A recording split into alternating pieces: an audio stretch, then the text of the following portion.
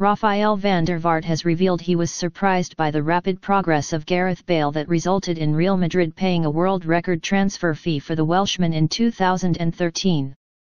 Bale cost Madrid £86 million two years ago, with the former Tottenham Hotspur wide player signing a six-year contract worth £170,000 a week.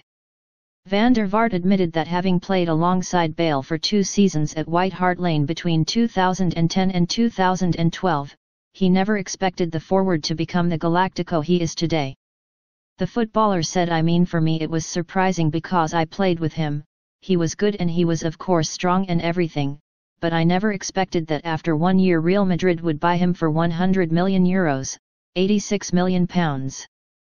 Van der Vaart left Spurs to rejoin Hamburg on the final day of the summer transfer window in 2012, but after not being granted a contract extension at the end of last season, the 32-year-old agreed to join Real Betis for the upcoming campaign.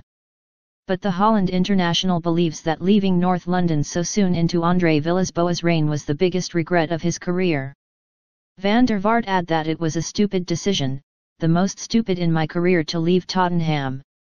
I absolutely regret it because it was the best two years in my football life, who scored 28 goals in 78 games during his time under Harry Redknapp.